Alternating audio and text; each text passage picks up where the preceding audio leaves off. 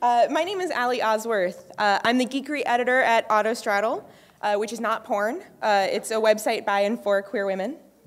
Um, I'm writing a novel about Gamergate. I'm also an adjunct professor at the New School teaching digital storytelling and the managing editor at Barnard's Scholar and Feminist Online. I spend all of my professional life thinking about cyberspace, meat space, and how the two intersect. Today I'm here to talk about two ways in which we bring the body into cyberspace, specifically the queer body, and how we use that body to tell queer stories. This talk is going to be split into two parts webcomics and how we're currently doing things, versus virtual reality and how we have the opportunity to do things. Uh, the world of explicitly queer webcomics is vast, with creator-owned and operated titles from Erika Moen, uh, creator of Dar and Ojoy Sex Toy, uh, A. Stiffler and Kay Copeland, the queer couple behind Chaos Life, and Kylie Wu of Trans Girl Next Door. Autostraddle has taken advantage of this digital extension of queer zine culture with regular comics from Cameron Glavin, who digitizes her body with no neck. Uh, Anna Archie Bongiovanni, who writes about the fictional Grease Bats. Megan Przanica, uh, who writes a journal comic about her life in LA with some whimsical fictional twists to it, like the character Caro vomiting up Huffington Post headlines after binging political think pieces. and Yao Xiao, um, who I, I like to say that she does uh, something called poex cometry, uh, co poetry comics. Queers have always had a hand in comics. This is nothing new. But the digitization of comics has created the perfect medium for telling queer stories. There are a few reasons for that. First, the ease of forming queer spaces and communities online. The overhead for hosting such a space is comparatively low, lower than, say, the rent on a lesbian bar, and the consequences of failure are less dire. The ability to congregate online also connects us despite the large spaces between us. Because queer people make up only 3.5% of the adult population in the US, the community is often spread apart, especially for queers living in rural areas. The miles between us make meeting online, where your community is never farther away than your smartphone, extremely convenient. In places where one can be persecuted based on queerness, the cyberspace option is also safer. Even as corporations attempt to squash our spaces, as what happened to AfterEllen, uh, we still thrive here on Autostraddle, Tumblr, and yes, in comics. Second, there's what our brains actually do while reading comics, web or otherwise. Comics are fundamentally juxtapositional. We, the readers, are shown a series of images and words in sequence. We might not notice it at the time, but there are large spaces between frames, and I'm not talking about physical space. Take this series of images, and forgive me, I edit comics, I don't make them, and I drew these. um, we begin with the egg on the left. The next image shows a crack in the egg. Our eyes don't see the crack forming, but our brains make the leap through that liminal space in between. We understand the egg is hatching, and we have an expectation of what will come next. This juxtaposition, the leaps our cognition makes into liminal space, prime our consciousness for a queer story. Queer identity often does not fit neatly into a binary. Sometimes it doesn't even fit nicely on a spectrum. Rather, it sits in the gray areas between more mainstream presentations, genders, and sexual orientations. Our brains, by making the leaps to understand images in sequence, are already making the leaps necessary to understand an identity that doesn't necessarily look like our own. What we have in webcomics that tell queer stories is an inextricable intertwining of form and content, a perfect medium in which to express a queer story. That story almost always includes a body.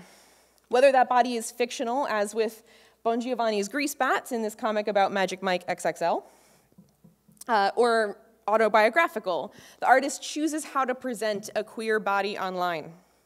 They draw the body, emphasizing aspects they wish the reader to see. In the case of an autobiographical body like Glavin's, uh, the aspects the artist chooses to emphasize are independent of photorealism. There is a tremendous amount of agency in choosing and drawing a body. And the reader not only has the opportunity to see the artist reflected, but quite possibly themselves. This extremely intimate portrait of a queer body is birthed into cyberspace for consumption by the other. Even if the reader is queer, they are almost always an other. Webcomics are necessarily presented through a third person limited point of view, where the artist is free to pan the camera of the reader's eye. Because we sit outside the comic, we feel omniscient. Like we're getting the whole story, even as our brains are constantly piecing together the puzzle of the comic, even though there are actually gaps in our information. In short, we feel we understand this queer story because of the way the body functions in space and our relationship to it and how we are functioning as a necessity of the art form.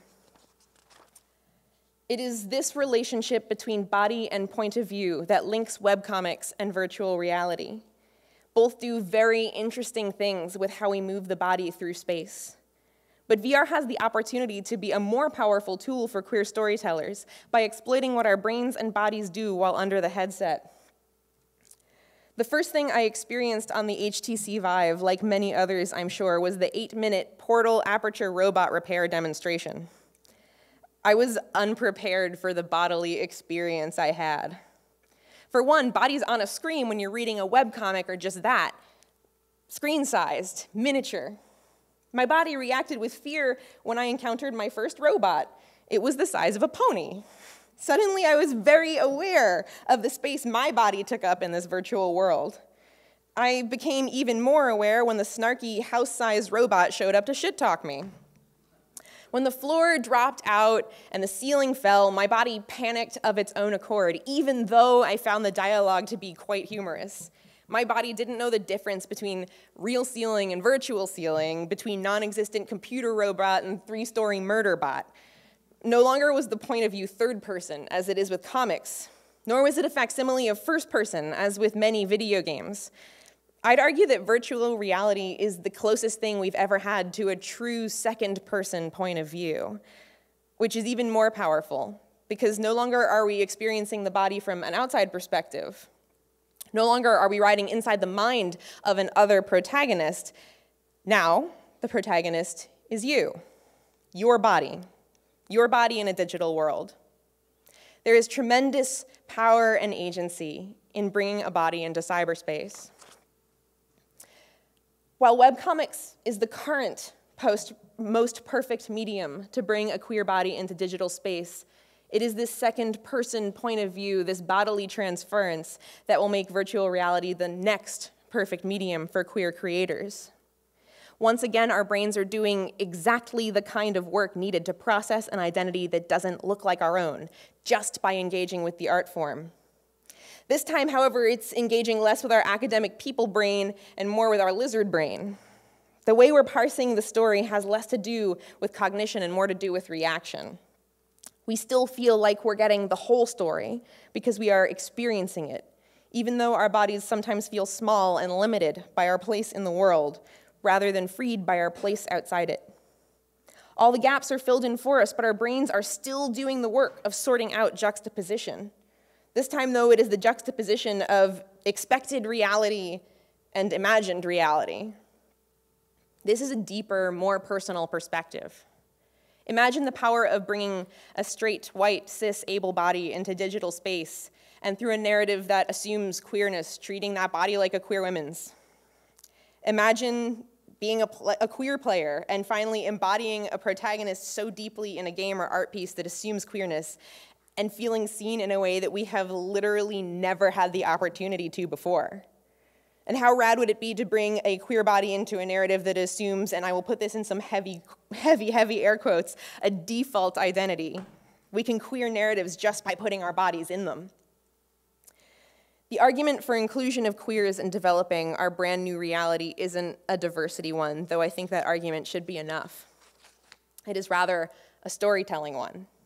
We're already primed for it. I predict that queer communities can and will thrive in virtual reality settings for the same reasons they currently thrive online. I predict that queers will seek out these even more personal representations of our bodies moving through cyberspace, as we already have done in webcomics.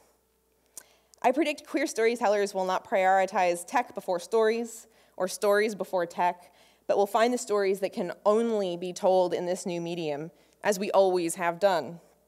However, I'm not seeing the artistic boom I'd hoped to see. For one, cyberspace was never designed for us. We've already seen the results of an entire facet of our reality being designed by and for only a small subset of its end user demographic. Online harassment continues to be a massive problem for any marginalized community, one that's already bleeding into our brand new virtual reality.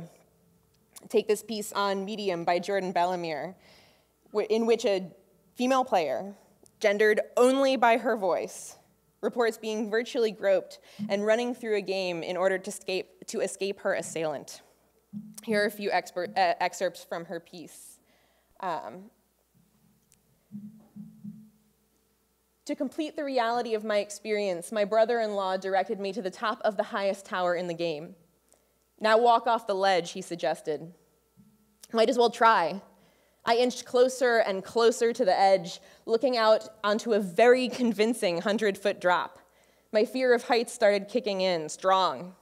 Closing my eyes, I took a single step off the ledge, and nothing happened. I didn't fall, and I was walking on air. I was a god. This is the same kind of really powerful bodily experience that I had. Uh, but then, of course, the digital groping happens, and Remember that little digression I told you about?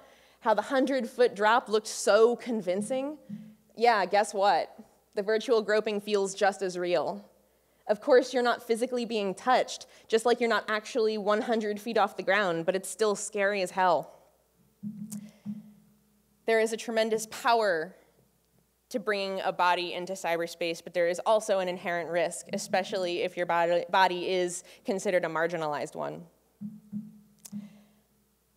Aaron Stanton and Jonathan Schenker, the developers of QuiVr, responded in a piece on UploadVR. Here's a quote from that. The first thing I felt was that we had let someone down. We should have prevented this in the first place. While QuiVr, that's the name of the game, uh, is still in pre release alpha, we'd already programmed a setting into the game called your personal bubble. So other players' hands disappear if they come close to your face. This way, the rare bad apple player can't block someone else's view and be annoying. The arrows that get shot at you stick in your helmet, which is good for a laugh, but they do no damage and quickly disappear, so they don't get in the way. We hadn't, though, thought of extending that fading function to the rest of the body. We'd thought only of the possibility of some silly person trying to block your view with their hands and ruining the game. How could we have overlooked something so obvious? The makers of QuiVr responded to this digital groping swiftly and, in my opinion, in a really excellent way, with a gesture that returns power to those being harassed and that doesn't take you out of the game. With two trigger pulls and an expansive hand motion, you fade from your assailant's point of view and they disappear from yours. But they admitted themselves that it wasn't something they'd considered before releasing the game. And yet, this kind of stuff is all I think about. It was in the very first draft of my novel that I wrote. It is obvious to some of us. We are already starting to repeat our mistakes by excluding marginalized communities from development, but I'm hopeful that it's early enough that it's not too late. I see a few concrete solutions. And here I will speak only from the point of view of a queer woman. The needs of other marginalized communities might be very different from my own. First, the barrier to entry for VR in comparison to, say, webcomics, where you just need a pen, a paper, and a scanner, is very high. Add up the cost of not only VR equipment, but the time and energy it takes to learn to code, to learn Unity, to put together a team with little to no financial backing. Thinking this way may paint a clearer picture of who is economically able to purchase and play with the latest toys. Companies are already trying to lower the cost of the hardware. But lowering the cost of knowledge is also key. Hiring queers into technology positions and allowing an amount of learning on the job will help decrease the cost of that knowledge. The industry needs to stop devaluing soft skills. Skills like realizing a large percentage of your user base is likely to be harassed in your VR game. That's not a soft skill. Collaborate with your favorite queer storytellers. We're everywhere. And often, due to all sorts of systemic stuff, we feel like we need to know everything about a project before we begin to play. So don't be shy, approach us first. But don't exploit our narratives. Treat us like partners, not like props. We as consumers, all of us, need to directly fund independent queer artists as they tackle virtual reality projects, and we need to allow them to learn on the job too. And we all need to come up with a million other ways to provide access to would-be queer creators that I haven't thought of because I'm a writer and not a developer. This is less an academic talk and more a call to action. What can you do to make virtual reality the next big, perfect medium to tell queer stories, to make it accessible to queer creators as we tell our small queer stories to the big, wide virtual world? Thank you.